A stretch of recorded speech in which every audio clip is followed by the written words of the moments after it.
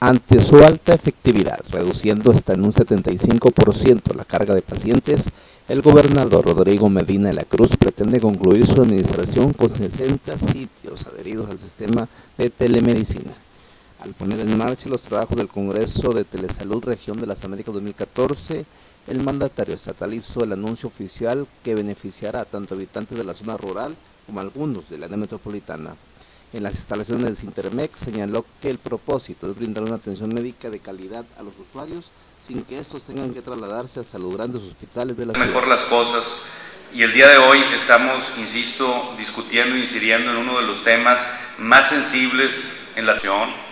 de luchar contra la obesidad en todos sus aspectos, eh, desde los niños, en eh, educación. Diseñar y hay que poner